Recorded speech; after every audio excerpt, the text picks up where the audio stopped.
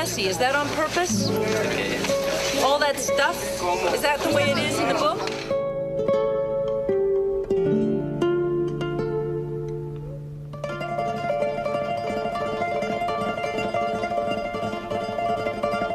In America, art is a nasty word. Art, we don't support art. The National Endowment, art is, is, is elitist. It's like, you know, the scarlet letter? You put a big A here, it's a bad, a brand, bad. So we have a problem with the word art in America. We, that means no money, you don't make money off of art, and it's for intellectuals and effete intellect, you know, whatever. And it's it belongs in New York and L.A. maybe, but somewhere in between it doesn't, which is ridiculous. I mean, I'm being very, very uh, simplistic right now when I say that.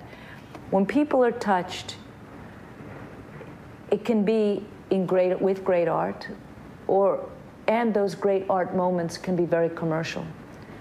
There's no reason why it can't come together. The general films, American films, Hollywood films, don't try to do both. It's not impossible to make films that are art films that are very broad and have a broad appeal.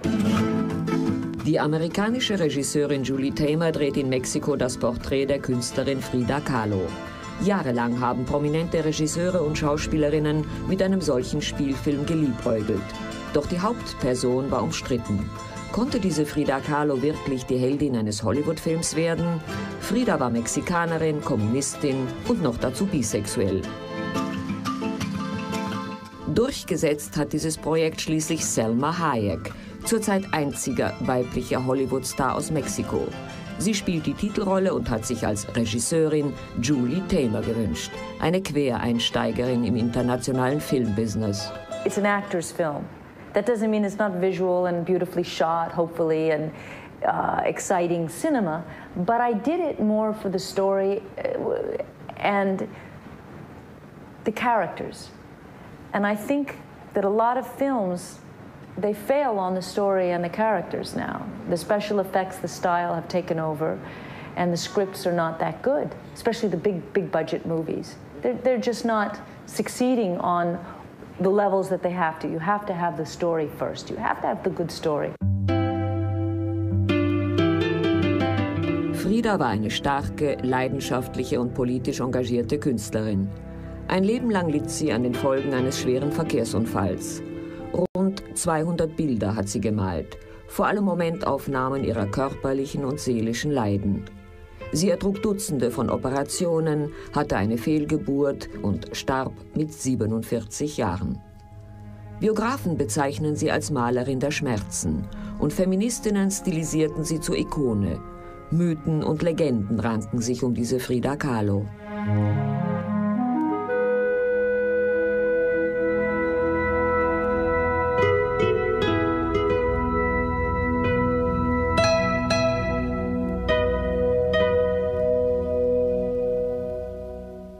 What I know about her now, having spent the last year working on this movie, is she had an incredible femininity. She'd fall in love like a little girl, and her diaries were full of passion. They were, she, she was very womanly, very natural, not intellectual at all, but very bright and, and, and, and you could say she's a great artist or not. I don't even think that's the issue. It's that she painted for herself. She didn't paint to sell, and she didn't paint her paintings to be liked. This, she painted difficult paintings that, ex, that she needed to. These paintings were an exorcism for her. She needed to put her trauma, her darkness, on, on canvas. Julie Tamer hat ihren Film aus Tagebuchnotizen, Briefen und Gemälden von Frida Kahlo entwickelt. Es ist der Versuch, das Leben einer Künstlerin aus deren Bildfantasien heraus zu interpretieren. Leo Trotzki kommt zu Besuch. Kein Land wollte den verfemten russischen Politiker haben. Mexiko hat ihn schließlich aufgenommen. Eine Probe mit den Schauspielern Geoffrey Judd als Trotsky und Alfred Molina als Fridas Mann Diego Rivera.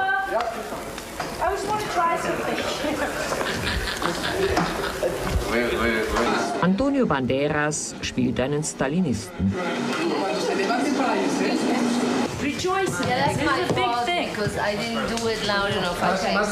Es wird diskutiert, gegessen und getrunken.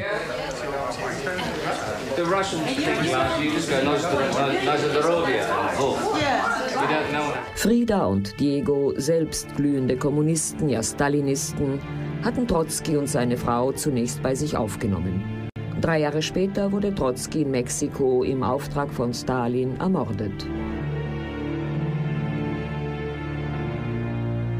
Frida und Leo hatten eine kurze, aber heftige Liebesaffäre. Zum Abschied schenkte sie ihm eines ihrer heute auf dem Kunstmarkt teuer gehandelten Gemälde, inklusive Widmung. Für Leo Trotzki.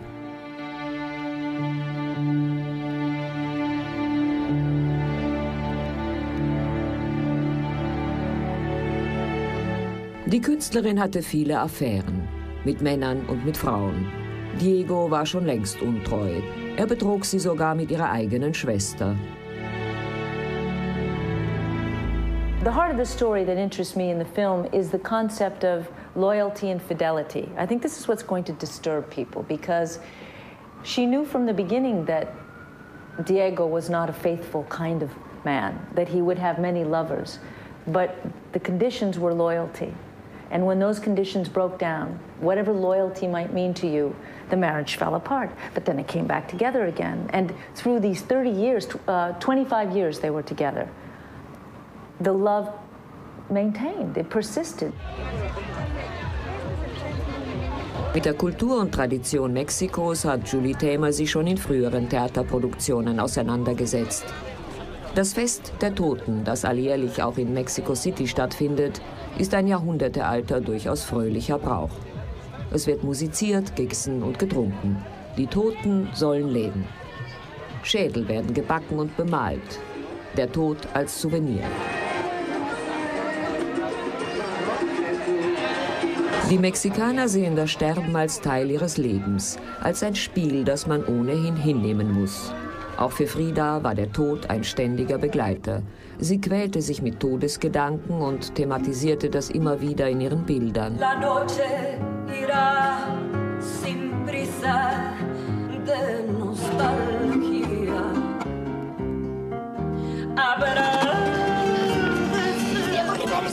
Auditorium. Diego! Who are you? What do you want? I just want your serious opinion of my work.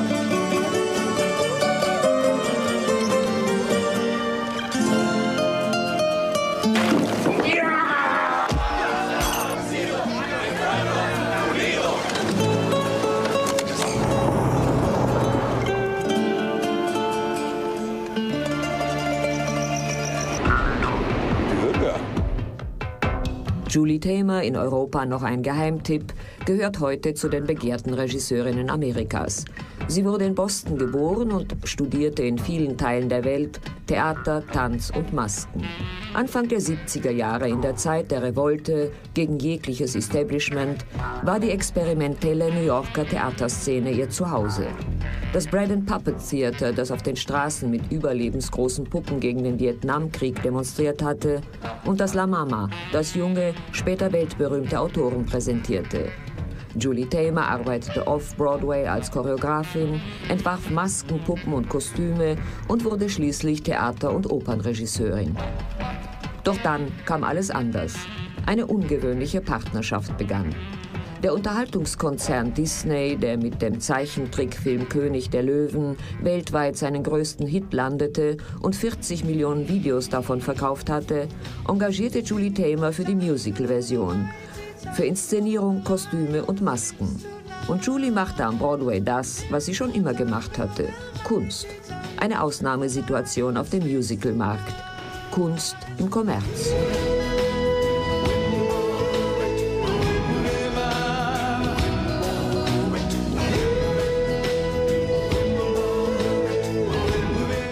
Was a movie and it's now theater.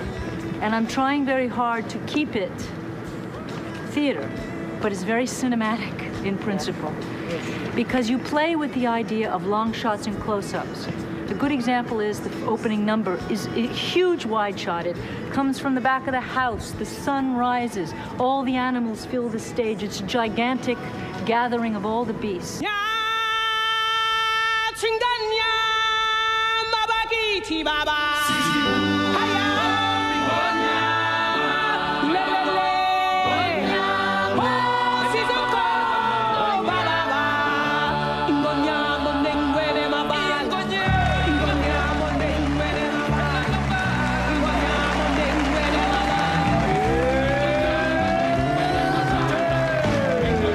Die Handlung folgt uralten Mythen und Legenden. Geburt und Tod, Liebe und Hass, Abschied und Heimkehr. Ein Kreislauf des Lebens. König Mufasa, Löwenbaby Simba und die große Magierin unter der Sonne Afrikas oder im Land der bösen Hyänen. The notion here was that with very few actors, I still could create herds. So the idea here is that a, a, a dancer stands. Can I move this, guys? Go right ahead, Julie. Stands behind and rolls this across the stage. And you see the leaping gazelles. Now you're really seeing the skeletons. This is the second half of the show. You're seeing the skeletons. But with a very simple mechanical device, you're getting the leaping gazelle movement. So why not tear the curtain down and expose the rods and expose the strings, expose the mechanics, and let them have the joy of watching the creating, watching the bringing alive. In fact, I think that's really what moves the audience the most is seeing that it's one person, a human being, that makes this come alive, as opposed to a special effect.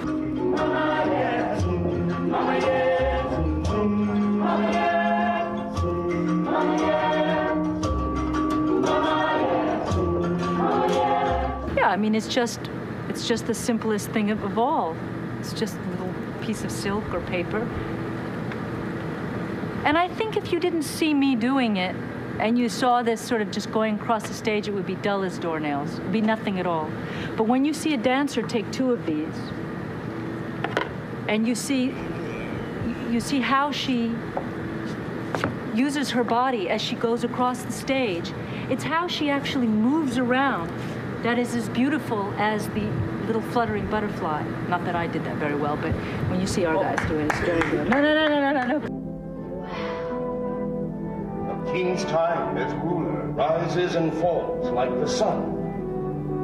One day, Simba, the sun will set on my time here and rise with you as the new king.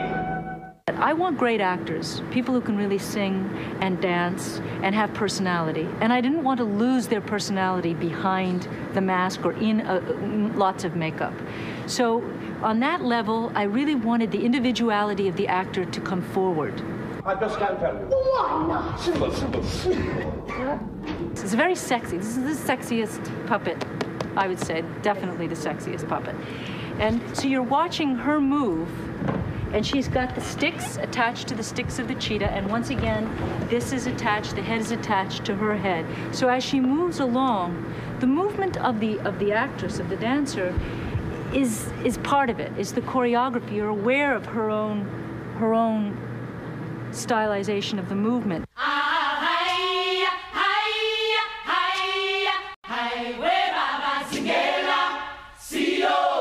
Die Herstellung der Masken hat Julie Tamer vielen Kulturen abgeschaut und mit Fantasie und dem Wissen moderner Technik ergänzt. Am Anfang stehen immer Zeichnungen, Entwürfe und Modelle, die die Künstlerin selbst anfertigt. Dann kommen die Spezialisten hinzu. Gemeinsam versucht man, Julies Ideen technisch umzusetzen. techniques belong to everybody. So what you see is an artist, a Western artist, inspired by techniques from other cultures, whether it be the shadow puppetry from Indonesia, India, Turkey, because all these cultures, China, have used shadow puppetry with leather shadows and, and firelight.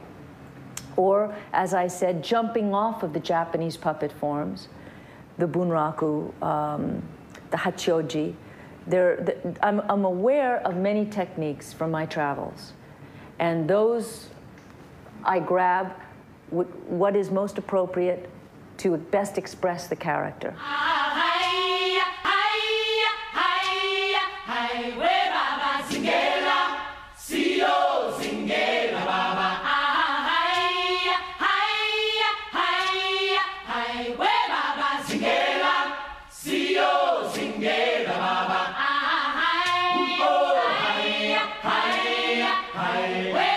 In nur sechswöchiger Probenarbeit wachsen die Darsteller in Technik, Kostüm und Bewegungsrhythmus von Wüstentieren hinein.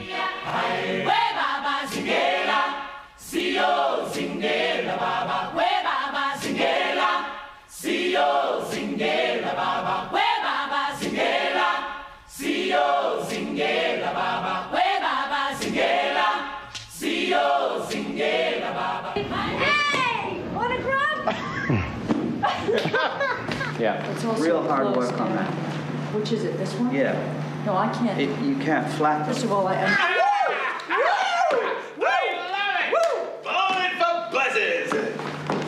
Löwenbaby Simba hat ein kompliziertes technisches Innenleben, wie die meisten Musicaltiere, die hier in der König der Löwen Puppenwerkstatt in Toronto hergestellt werden.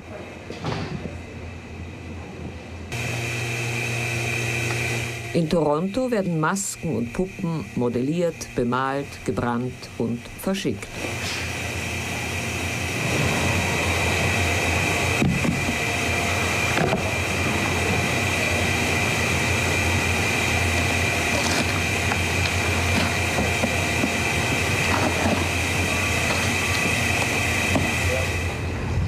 Gerade geht ein Elefant auf Reisen. Sein Ziel ist Hamburg, die neueste Station der Disneyschen König der Löwen Aufführung.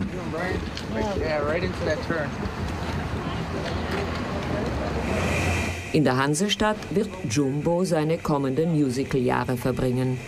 Eine lange Lebensdauer ist ihm gewiss, ebenso wie seinem Kollegen vom Broadway. You know, people say Lion King changed the face of Broadway. No, changed part of Broadway. I think it, what Lion King did, which I think is wonderful, is it brought a new audience, an audience of, of who've never been to the theater before, and who are seeing pure theater. They're seeing as spectacle as it is, it's also about the essence of pure theater. That's its strength as an event. But you'll see the same old Broadway musicals on Broadway. You'll see the same old stuff, and it deserves to be there. I like all kinds of theater, so I enjoy it. Am Broadway toben die Löwen bereits seit vier Jahren über die Bühne. 1998 wurde die Produktion zum Musical des Jahres gekürt. Julie Tamer erhielt den begehrtesten amerikanischen Theaterpreis, den Tony Award, gleich zweimal. Kritiker bezeichneten sie als Schamanin der Bühnenkunst.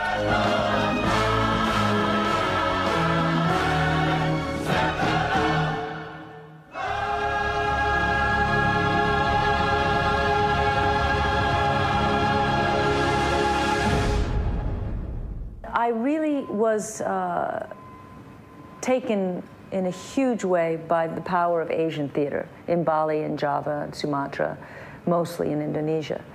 So, and Japan, but Japan, it's more, it's still more like in the West. It's entertainment, it's aesthetic, but in Indonesia, it's fundamental to existence. Theater originally is religious. Theater comes out of a, of a need to uh, give back to nature, communicate with nature. The first actor is the shaman. What is a shaman? A shaman is the psychological, spiritual leader of a community. We don't have that. We have psychiatrists, we have priests. But this is rolled up into one. And doctors, psychiatrists, priests, and doctors. Now imagine that as one being. And in order to cure, in order to cure either an individual of a demon or to make sure that the harvest will be right, this leader would perform with his people, this shaman, performance. Vieles, was Julie Tamer an Theaterarbeit geleistet hat, ist auch in großen Ausstellungen zu sehen. Derzeit tourt die Präsentation ihrer Inszenierungen, Masken, Kostüme und Figurinen durch die USA. Im repräsentativen Fields, dem Naturhistorischen Museum von Chicago, bekommt man einen Überblick über Julie Tamers künstlerischen Weg der letzten 25 Jahre. Am Anfang stand die Reise einer jungen Frau nach Indonesien. Die Studentin mit viel theoretischem Wissen über Mythologie, Folklore und den Bräuchen ferner Kontinente hatte ein dreimonatiges Auslandsstipendium erhalten. Daraus wurden vier Jahre und eine Karriere, die mit spirituellem Theater begann.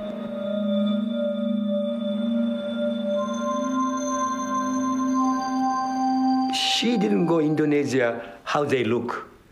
She went, what is their spirit, I would say, you know. Um, and so she wanted to understand the religious thing, and she wanted to know about the Japanese thing for this. And uh, I think she, she's quite deep that way.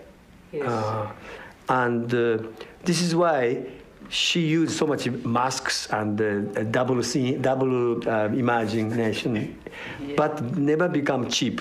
It's always looks funny and looks strange, but always something must be reason. In, uh, in, in inside a mask, there is a life of deep spiritual, you know, deep depths. Yes. I think that's important of her.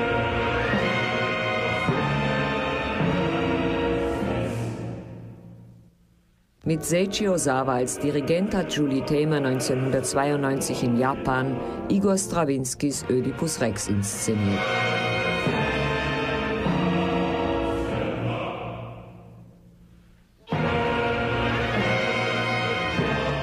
Jesse Norman sang die Partie der Jokaste.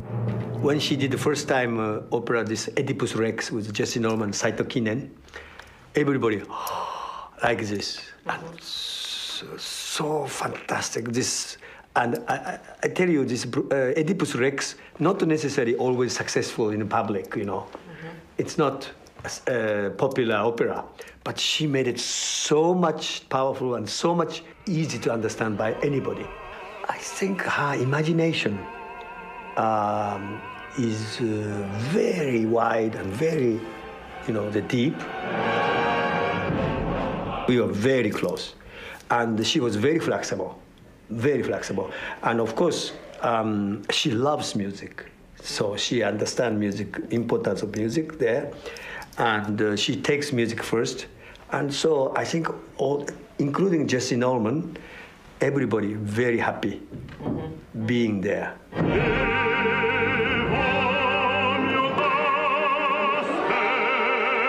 She works very hard, so sometimes rehearsal become very long and very heavy. But she knows what she want uh-huh. get. That's good for us, you know. So we see through her eyes where she's looking, where she want to go. Mm-hmm. You know, for so this is why you know the big chorus work here, Oedipus Rex. You know, this is a chorus piece. Die Regisseurin erweiterte dieses vor allem oratorienhafte Werk zu einer üppigen optisch dynamischen Präsentation des archaischen Stoffes. Oper als Gesamtkunstwerk.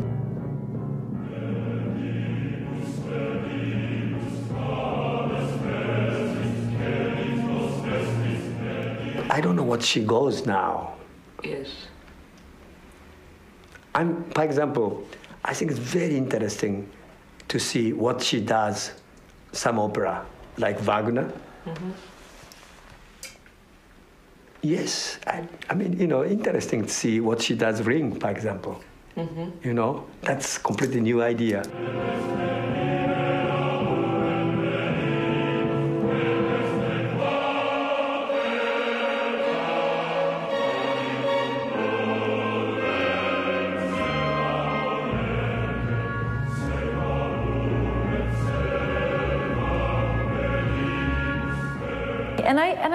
Challenge myself. You know, there are some artists who get into a mode of one style. Uh, People think, oh, puppets, mask, but not at all. That's why I love to do Shakespeare. Or if I did something like Salome or Flying Dutchman, I did the, the uh, Wagner opera in Los Angeles, there's not a puppet or mask in it. It's, to me, every form, every piece dictates what the form should be, as opposed to I bring a form and place it upon the material. The material has to speak to me. Julie Tamer schreibt viele ihrer Bühnengeschichten selbst. Sie verwendet dabei häufig literarische Vorlagen. Wie etwa in Fools Fire nach einer Novelle des amerikanischen Schriftstellers Edgar Allan Poe. Am Hof eines Königs, der nichts mehr als das Vergnügen liebt, ist der Zwerg Hopfrog, hüpfender Frosch, als Hofnarr engagiert. Der König treibt böse Späße mit ihm. Doch die Rache des kleinen Mannes ist ihm gewiss. Die Produktion wurde auch verfilmt.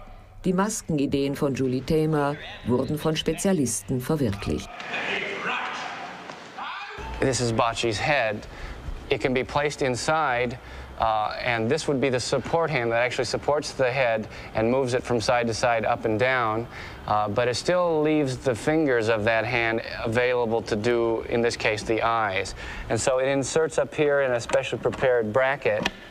And this enables the actor to both support the head, move it very comfortably, and still operate the eyes. How did you do it? Three tablespoons of hops and a lullaby.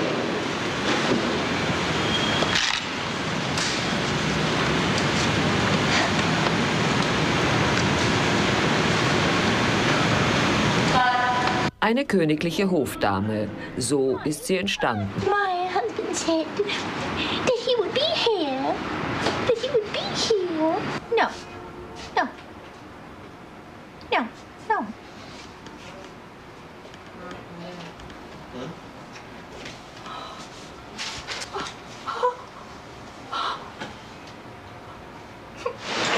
Why is she? Why is that happening? What? This breaking? Yeah. I don't know. Fool's Fire ist auch eine Liebesgeschichte. Eine Liebesgeschichte zwischen Außenseitern.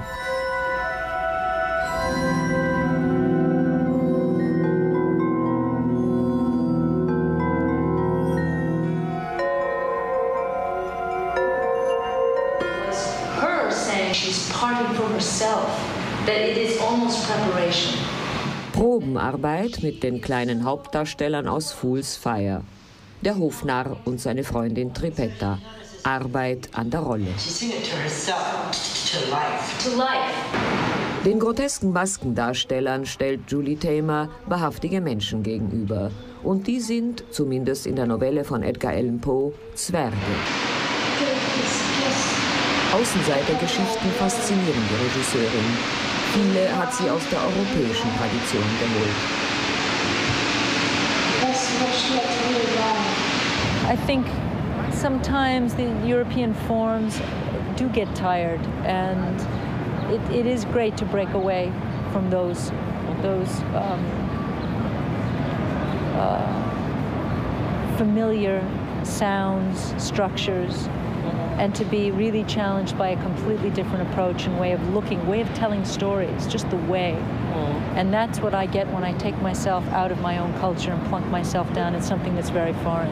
I get totally shaken up and challenged. It's scary, but it's very uh, liberating.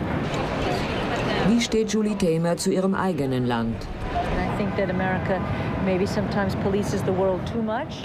On the other hand, to turn their back on the world is, uh, is, uh, is the wrong thing to do when you have enough, when you can take care and you can make things better. And I, I think that capitalism and entrepreneurialism and that, that whole um, the gold rush, the whole concept of the streets of being able to to to make it and in, in America is, is a wonderful thing because it, it gets people's energies and their dreams going. On the other hand, you've got to take care of the others who aren't there with you. Mm-hmm. So that no, I definitely think that's a duality, an uncomfortable duality in Americans. Die sogenannte Globalisierung, wie gefährlich ist sie für Kunst und Kultur? I feel it's a shame when globalization wipes out diversity and individualism. When you see this mass of, of American culture that oh, is great stuff too. I mean, I, I don't think that things shouldn't go, but what I think is a shame when it goes at the expense of the, of the character and the individuality of these diverse cultures. And I saw that even in living in Indonesia, you could see how in Bali at one point, one village had very different music from another village. But as soon as television comes in, or when they're invited to the big capital, Jakarta, then the smaller ones go by the wayside.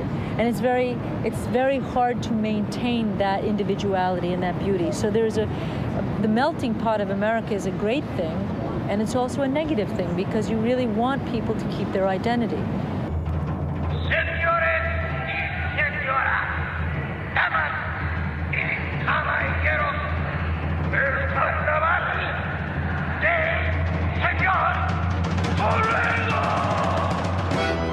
In Juan Darien geht es um Magie und Mythen des Dschungels.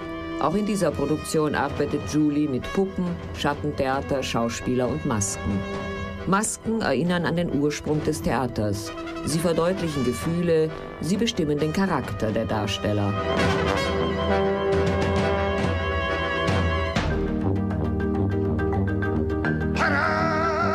Ein Zauber der Verwandlung, der vielfach naiv, melodramatisch und folkloristisch wirken kann. It might appear that way. Juan Darien is a, based on a short story by Horacio Quiroga, who was an Uruguayan writer in the 20s.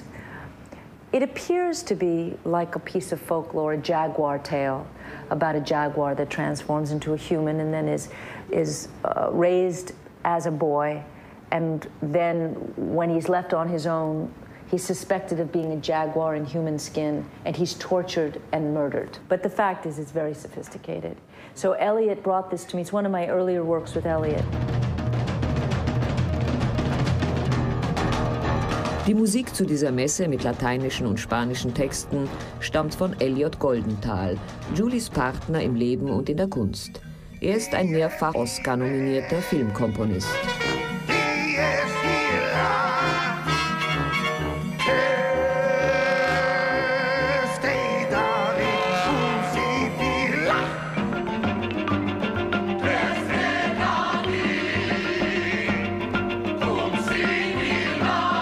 Juan Darien schrieb Goldenthal ein Passionsspiel, inspiriert von Kultur und Tradition Mexikos.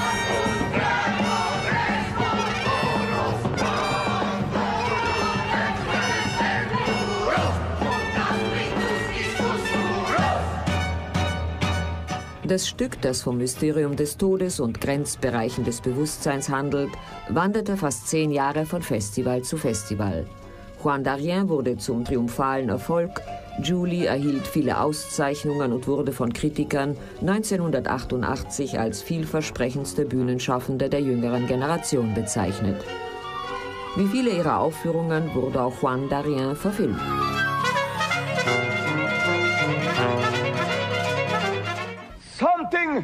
Astonishing is about to take place. Carlo Gozzi, venezianischer Dichter, schrieb komödiantische, stegreifartige Stücke, eine Mischung aus Spektakel und Philosophie.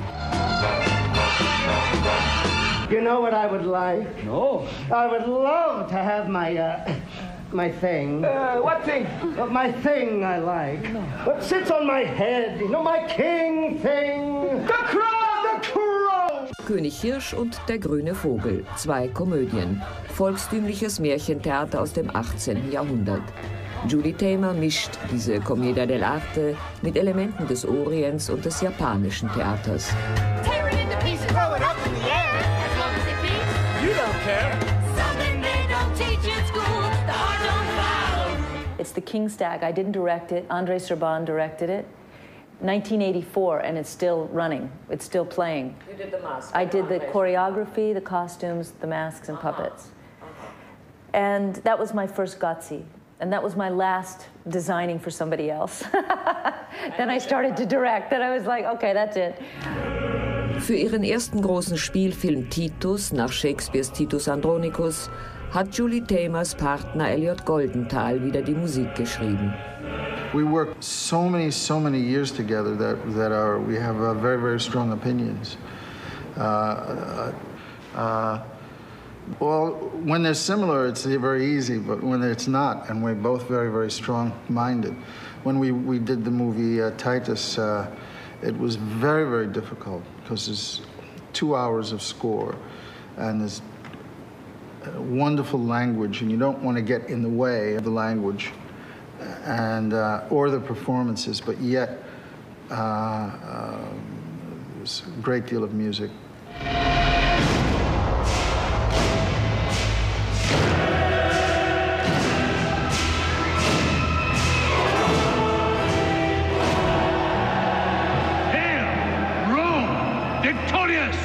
Siegreich kehrt Titus aus der Schlacht zurück.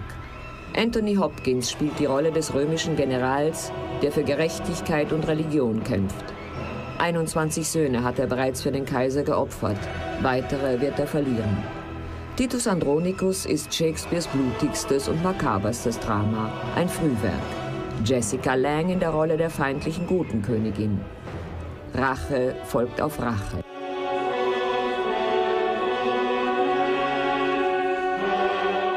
This movie is about the essence of violence. It's about exactly what drives people to become violent and what keeps the cycle of violence and vengeance going.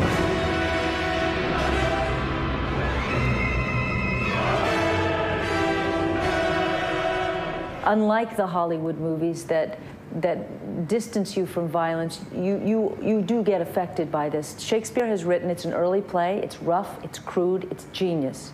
I think it's, I'm very prejudiced, but I think for me, it's superior to Hamlet. And I won't say it's as well made and as perfect, but as far as being truthful to what, what makes people, drives people to these acts, it's absolutely honest. Stay! Cut! Cut!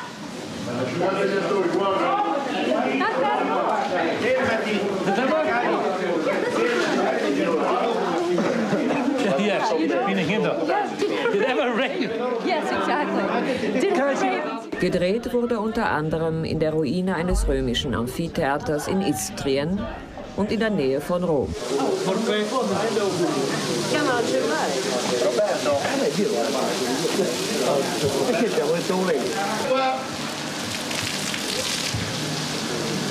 Vai, vai, vai, vai,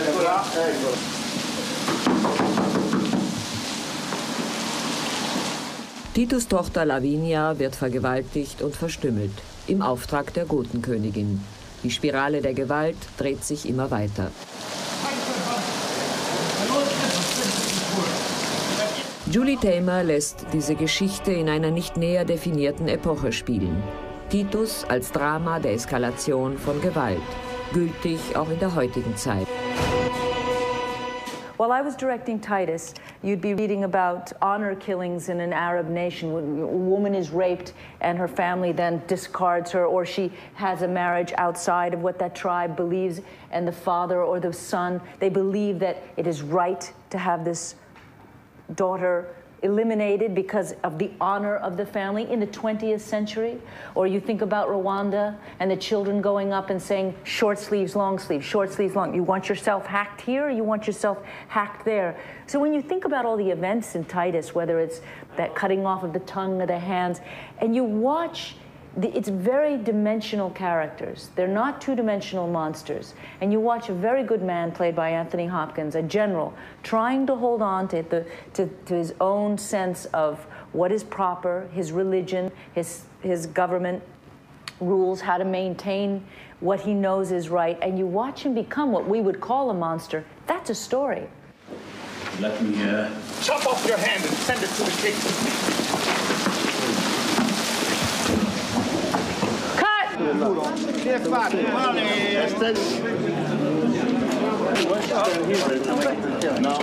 In der Drehpause Mittagessen und Zeit für Diskussionen und Schauspieleranekdoten. I, I don't know. I was just telling. I was just telling Noel about my first job in rep, Rep. But I had this director. His name was Clive Perry. Clive Clive Perry, his name was. an awful little rector. I hope he's dead. And yeah, I remember him. I hope he's dead. Yes. and it's my first job, and I was just out of the Royal Academy, and I was very, very nervy, but full of Welsh rage, raw talent, but you know, no technique, very little experience. Like, like Shakespeare at this and I was yeah. trying my best, and he would pick on me, pick on me. One day, I went up to him and I said, "You ever talk to me like that again? I'll knock you through the wall." And somebody said to me, "Tony, you'll never work again if you do that." Other actors said, "You can't go on like this." They're most of them dead or unemployed. their roadmap, their faces are roadmaps of frustration and bitterness, but they're still very nice, very professional. Violence in, in theater and all that, from the Punch and Judy's, is all about letting the, the rage. I mean, it's Yeah. all about ex- exposing and ex- allowing the rage. it. But it's good to get it out. I mean, as long as you don't kill anyone. Right, It makes people a bit nervous. But uh, yes, but You where did- do you get you the limit? with the Where knife. do You made us nervous. Where did you? Where do you get the limit now? How do you know that you don't go over? Well, I know that I don't enjoy it. I don't enjoy when it becomes an act. But if it's re- real anger, yeah. But when it becomes pushing it a bit more, then then I think that's I know, but signal me. think, Enough. Stop it. Stop it. And in the Emperor's court there is a queen attended by a Moor. Do on them some violent death. That's not They have been violent to me and mine. Herrscher und Bösewichte, Helden und Außenseiter, Könige und Zwerge, Komödianten und Papiertiger bevölkern die Julie Tamer Ausstellung in Chicago. Auch der Löwenfamilie vom Broadway begegnen wir hier wieder.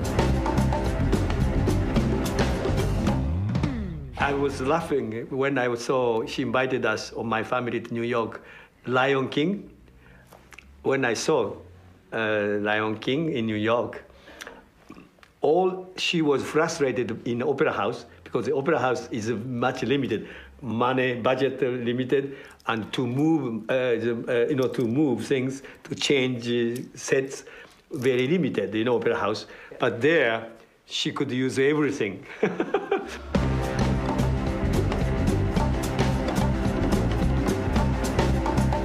Auch in den kommenden Jahren hat Julie Tamer reichlich Gelegenheit, ihrer Fantasie freien Lauf zu lassen.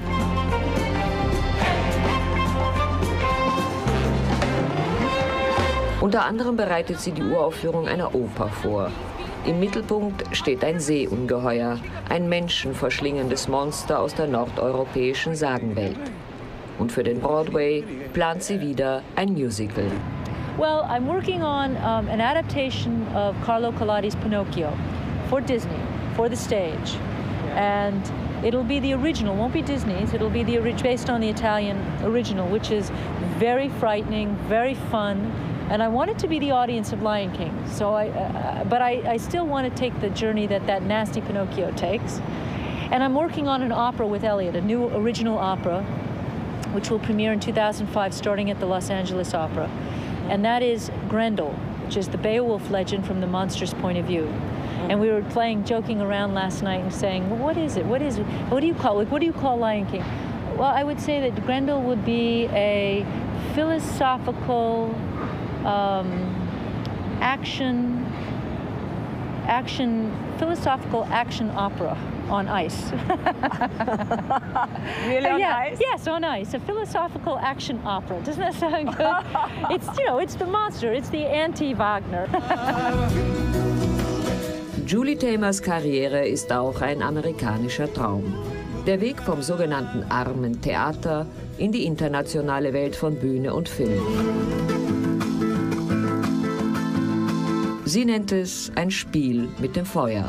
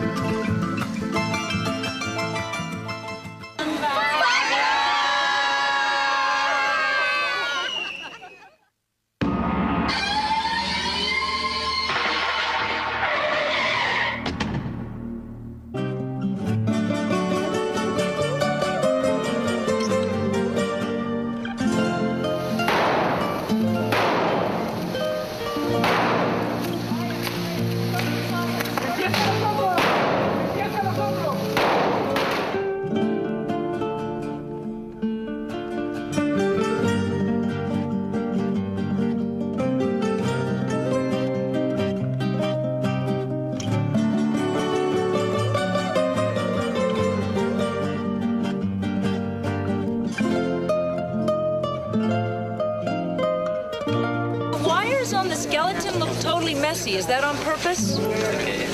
All that stuff? Is that the way it is in the book?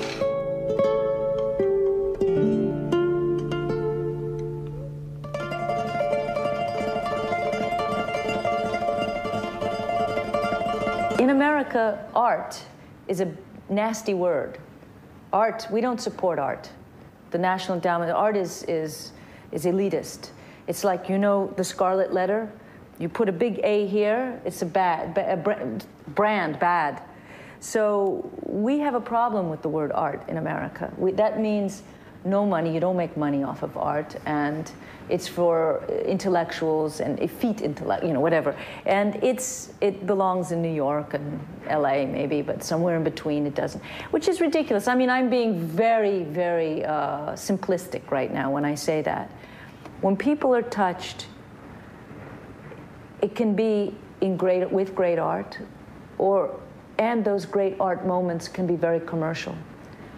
There's no reason why it can't come together. The general films, American films, Hollywood films, don't try to do both. It's not impossible to make films that are art films that are very broad and have a broad appeal.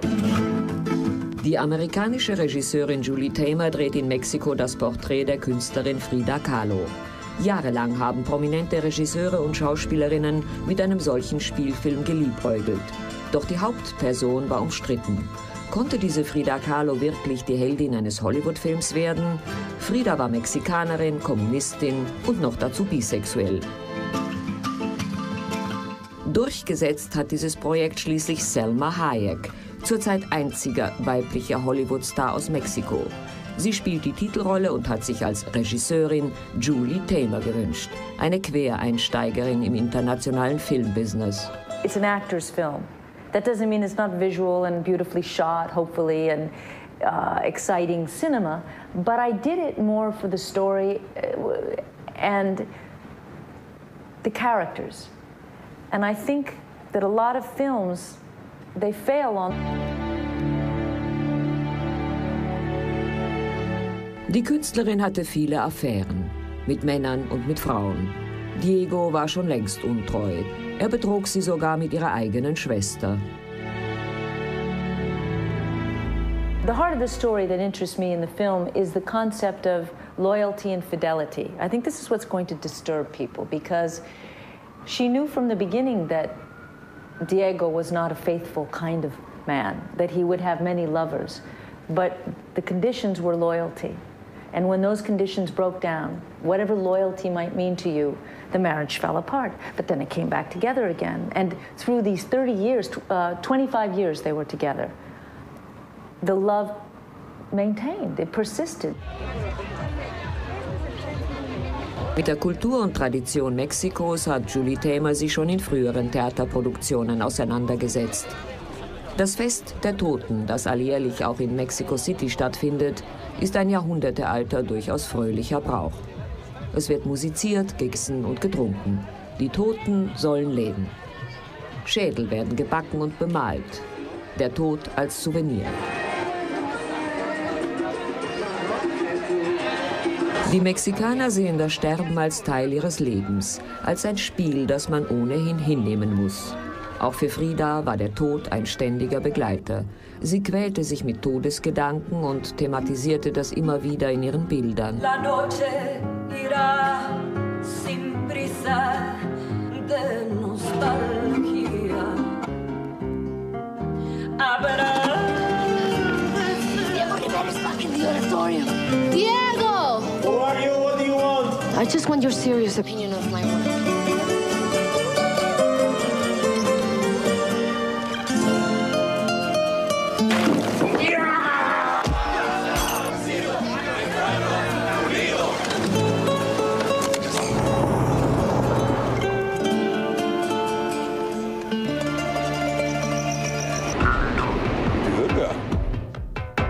Julie Tamer, in Europa noch ein Geheimtipp, gehört heute zu den begehrten Regisseurinnen Amerikas. Sie wurde in Boston geboren und studierte in vielen Teilen der Welt, Theater, Tanz und Masken. Anfang der 70er Jahre, in der Zeit der Revolte gegen jegliches Establishment, war die experimentelle New Yorker Theaterszene ihr Zuhause. Das Bread and Puppet Theater, das auf den Straßen mit überlebensgroßen Puppen gegen den Vietnamkrieg demonstriert hatte, und das La Mama, das junge, später weltberühmte Autoren präsentierte. Julie Tamer arbeitete off-Broadway als Choreografin, entwarf Masken, Puppen und Kostüme und wurde schließlich Theater- und Opernregisseurin. Feministinnen stilisierten sie zur Ikone. Mythen und Legenden ranken sich um diese Frida Kahlo.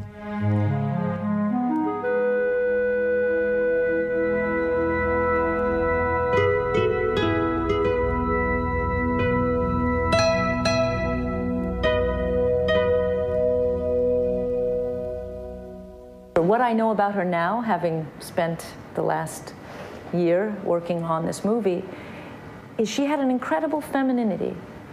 She'd fall in love like a little girl, and her diaries were full of passion. They were, uh, she, she was very womanly, very natural, not intellectual at all, but very bright and, and, and, and you could say she's a great artist or not. I don't even think that's the issue. It's that she painted for herself. She didn't paint to sell, and she didn't paint her paintings to be liked. This, she painted difficult paintings that, ex, that she needed to. These paintings were an exorcism for her. She needed to put her trauma, her darkness on, on canvas. Julie Tamer hat ihren Film aus Tagebuchnotizen, Briefen und Gemälden von Frida Kahlo entwickelt.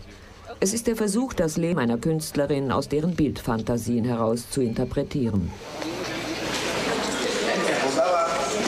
Leo Trotzki kommt zu Besuch. Kein Land wollte den verfemten russischen Politiker haben. Mexiko hat ihn schließlich aufgenommen. Eine Probe mit den Schauspielern Geoffrey Judd als Trotzki und Alfred Molina als Fridas Mann Diego Rivera.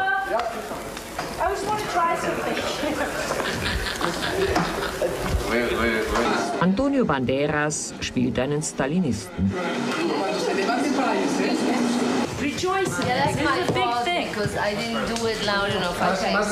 Es wird diskutiert, gegessen und getrunken. The Russians think about you just go Nazarovia. You don't know. Frida und Diego, selbst glühende Kommunisten, ja Stalinisten, hatten Trotzki und seine Frau zunächst bei sich aufgenommen. Drei Jahre später wurde Trotzki in Mexiko im Auftrag von Stalin ermordet. Frida und Leo hatten eine kurze, aber heftige Liebesaffäre. Zum Abschied schenkte sie ihm eines ihrer heute auf dem Kunstmarkt teuer gehandelten Gemälde, inklusive Widmung. Für Leo Trotzki.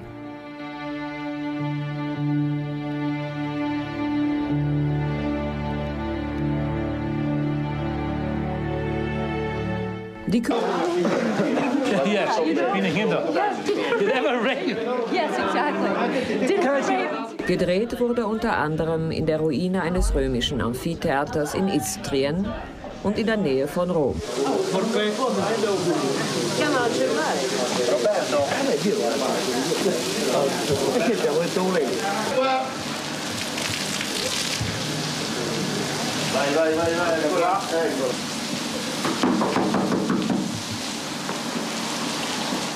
Titus Tochter Lavinia wird vergewaltigt und verstümmelt im Auftrag der Gotenkönigin.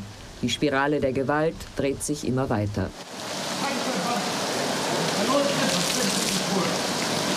Julie Tamer lässt diese Geschichte in einer nicht näher definierten Epoche spielen. Titus als Drama der Eskalation von Gewalt, gültig auch in der heutigen Zeit.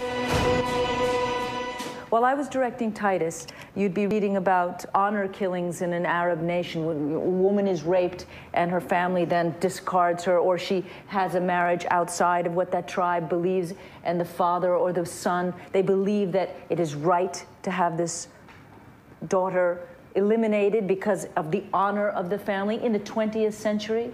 Or you think about Rwanda and the children going up and saying, short sleeves, long sleeves, short sleeves, long. You want yourself hacked here, you want yourself hacked there. So when you think about all the events in Titus, whether it's that cutting off of the tongue or the hands, and you watch it's very dimensional characters. They're not two dimensional monsters. And you watch a very good man played by Anthony Hopkins, a general, trying to hold on to, the, to, to his own sense of what is proper, his religion, his, his government rules, how to maintain what he knows is right. And you watch him become what we would call a monster. That's a story. Let me uh, chop off your hand and send it to the king.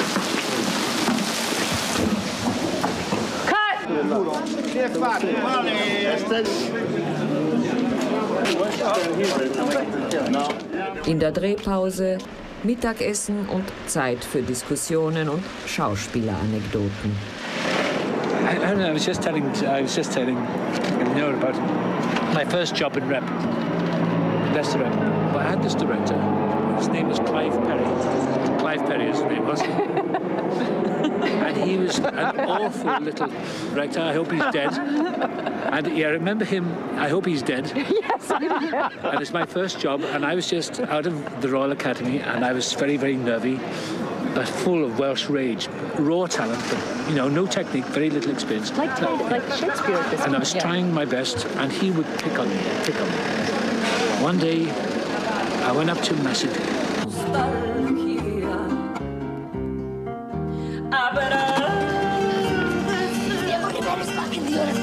Diego! Who are you? What do you want? I just want your serious opinion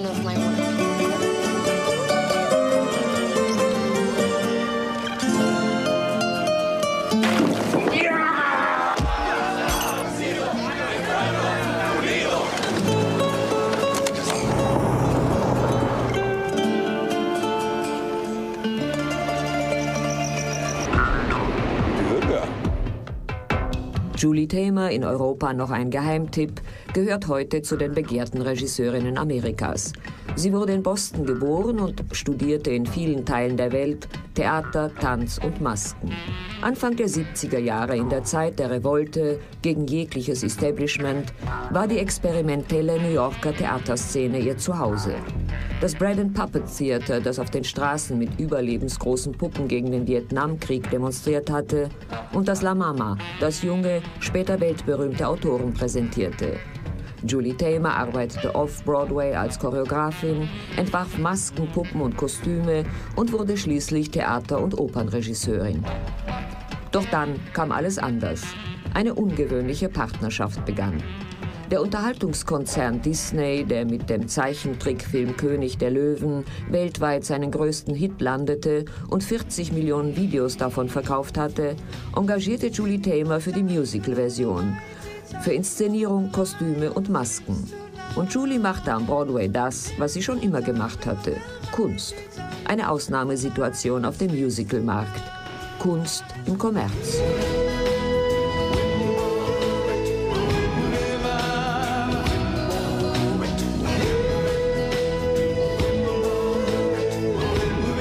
It was a movie and it's now theater.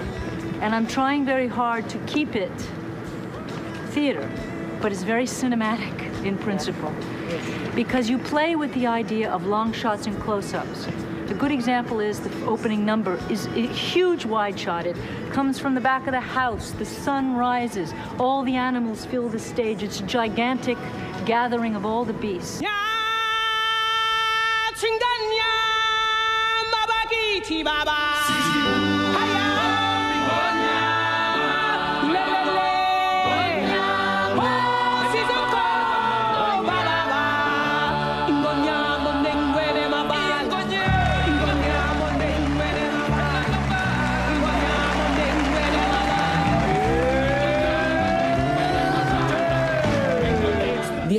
folgt uralten Mythen und Legenden. Geburt und Tod, Liebe und Hass, Abschied. Komponist.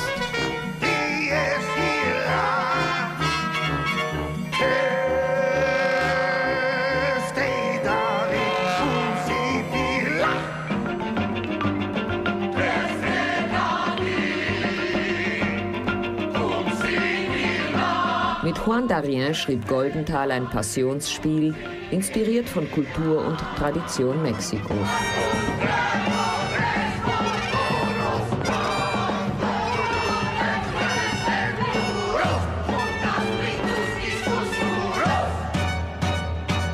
Das Stück, das vom Mysterium des Todes und Grenzbereichen des Bewusstseins handelt, wanderte fast zehn Jahre von Festival zu Festival. Juan Darien wurde zum triumphalen Erfolg, Julie erhielt viele Auszeichnungen und wurde von Kritikern 1988 als vielversprechendste Bühnenschaffende der jüngeren Generation bezeichnet. Wie viele ihrer Aufführungen wurde auch Juan Darien verfilmt.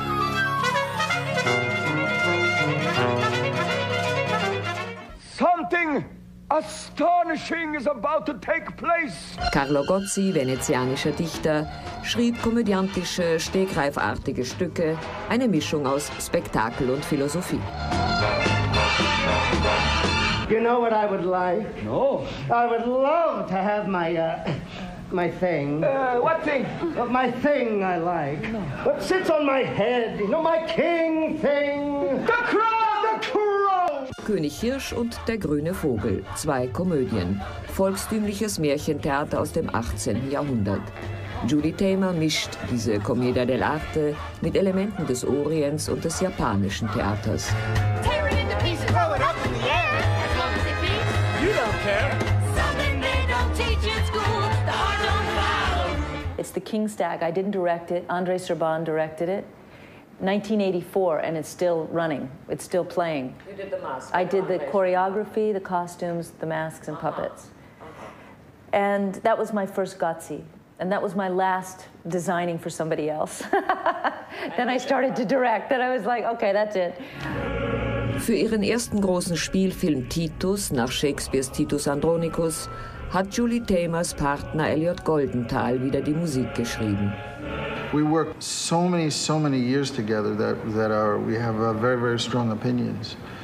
Uh, uh, uh, well, when they're similar, it's very easy, but when it's not, and we're both very, very strong minded. When we, we did the movie uh, Titus, uh, it was very, very difficult because there's two hours of score and there's uh, wonderful language, and you don't want to get in the way of the language. Performance. Vieles, was Julie Tamer an Theaterarbeit geleistet hat, ist auch in großen Ausstellungen zu sehen. Derzeit tourt die Präsentation ihrer Inszenierungen, Masken, Kostüme und Figurinen durch die USA. Im repräsentativen Fields, dem Naturhistorischen Museum von Chicago, bekommt man einen Überblick über Julie Tamers künstlerischen Weg der letzten 25 Jahre. Am Anfang stand die Reise einer jungen Frau nach Indonesien. Die Studentin mit viel theoretischem Wissen über Mythologie, Folklore und den Bräuchen ferner Kontinente hatte ein dreimonatiges Auslandsstipendium erhalten.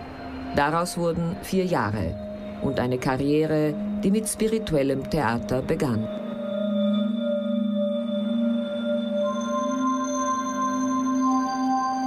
She didn't go Indonesia how they look.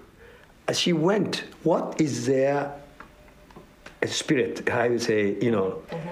Um, and so she wanted to understand the religious thing, and she wanted to know about the Japanese thing for this.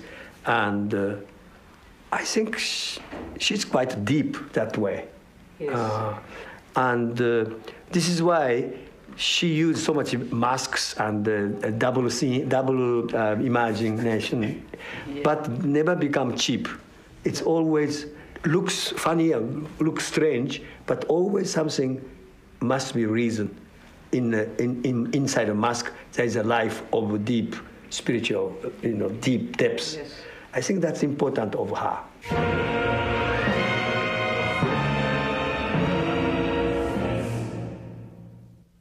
Mit Seiichi Osawa als Dirigent hat Julie Tamer 1992 in Japan Igor Strawinskys Oedipus Rex inszeniert.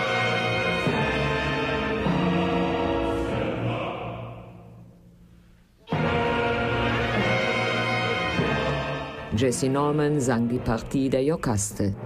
When she did the first time uh, opera, this Oedipus Rex with Jesse Norman, Saito Kinen, everybody like this. And so, so fantastic. This and I, I, tell you, this uh, Oedipus Rex not necessarily always successful in public. You know, mm-hmm. it's not a popular opera, but she made it so much powerful and so much easy to understand by anybody. I think her imagination um, is uh, very wide and very, you know, the deep. We were very close, and she was very flexible very flexible. And of course, um, she loves music. So she understands music, importance of music there.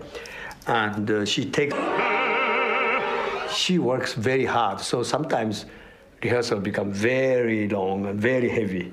But she knows what she want get. That's good for us, you know.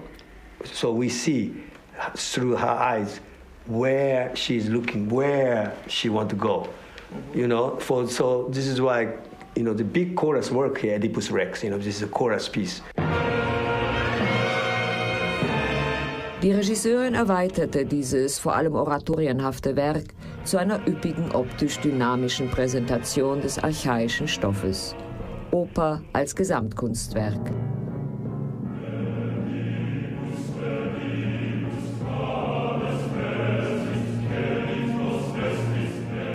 I don't know what she goes now. Yes.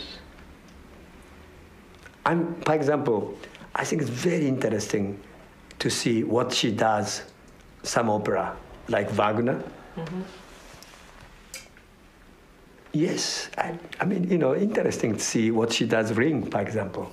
Mm-hmm. You know, that's completely new idea.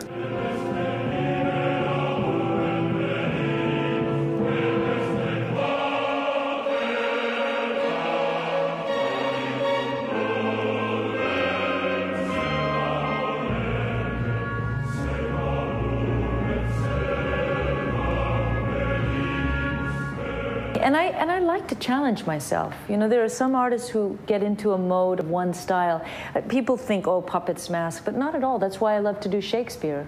Or if I did something like Salome or Flying Dutchman, I did the the uh, Wagner opera in Los Angeles. There's not a puppet or mask in it. It's to me, every form, every piece dictates what the form should be, as opposed to I bring a form and place it upon the material.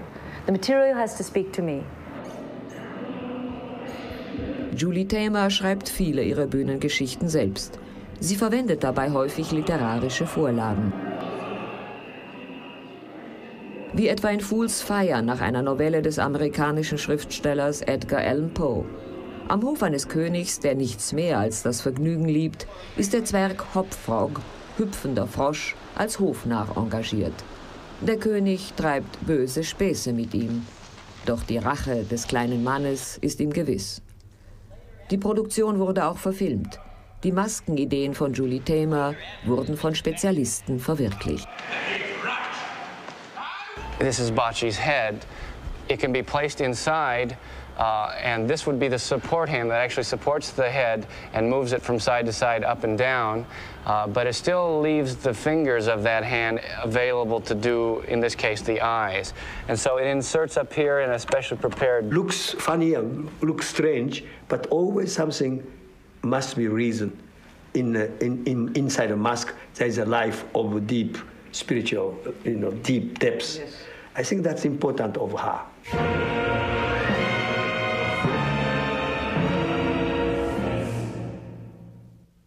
Mit Seiichi Osawa als Dirigent hat Julie Tamer 1992 in Japan Igor Strawinskys Oedipus Rex inszeniert.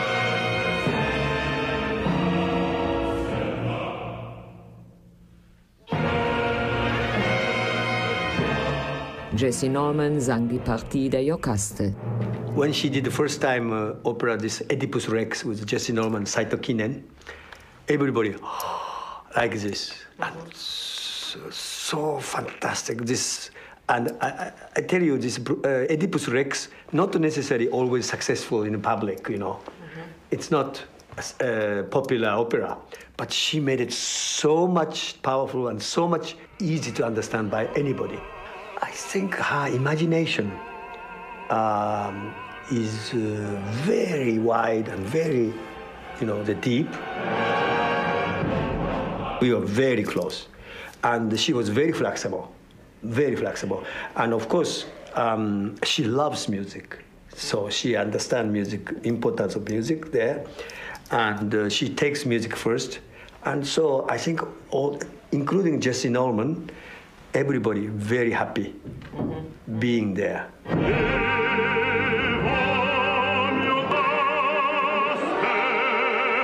She works very hard, so sometimes rehearsal become very long and very heavy. But she knows what she want uh-huh. get. That's good for us, you know. So we see through her eyes where she's looking, where she want to go, mm-hmm. you know. For so this is why, you know, the big chorus work here, Oedipus Rex. You know, this is a chorus piece. Die Regisseurin erweiterte dieses vor allem oratorienhafte Werk zu einer üppigen optisch-dynamischen Präsentation des archaischen Stoffes. Oper als Gesamtkunstwerk.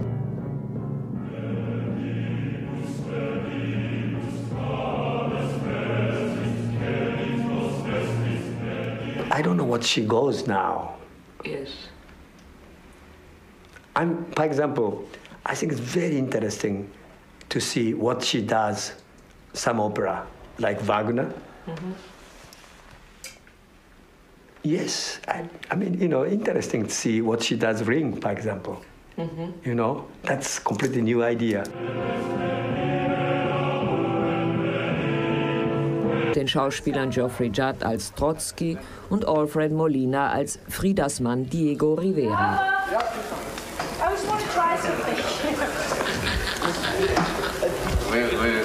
Antonio Banderas spielt einen Stalinisten.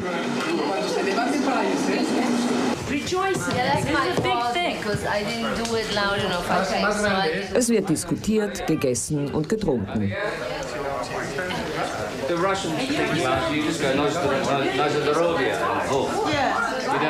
Frida und Diego, selbst glühende Kommunisten, ja Stalinisten, hatten Trotzki und seine Frau zunächst bei sich aufgenommen. Drei Jahre später wurde Trotzki in Mexiko im Auftrag von Stalin ermordet. Frida und Leo hatten eine kurze, aber heftige Liebesaffäre. Zum Abschied schenkte sie ihm eines ihrer heute auf dem Kunstmarkt teuer gehandelten Gemälde, inklusive Widmung. Für Leo Trotzki.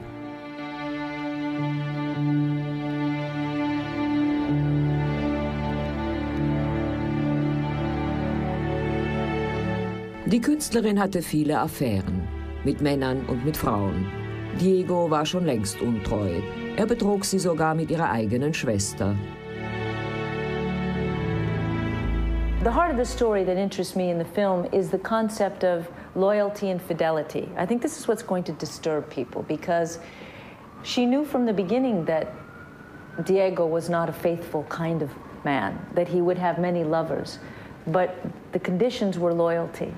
And when those conditions broke down, whatever loyalty might mean to you, the marriage fell apart. But then it came back together again. And through these 30 years, uh, 25 years they were together, the love maintained, it persisted. Mit der Kultur und Tradition Mexikos hat Julie Tamer sich schon in früheren Theaterproduktionen auseinandergesetzt. Das Fest der Toten, das alljährlich auch in Mexico City stattfindet, ist ein jahrhundertealter, durchaus fröhlicher Brauch. Es wird musiziert, gegessen und getrunken. Die Toten sollen leben. Schädel werden gebacken und bemalt. Der Tod als Souvenir. Die Mexikaner sehen das Sterben als Teil ihres Lebens, als ein Spiel, das man ohnehin hinnehmen muss. Auch für Frida war der Tod ein ständiger Begleiter. Sie quälte sich mit Todesgedanken und thematisierte das immer wieder in ihren Bildern. La noche irá sin prisa de nostalgia. Habrá...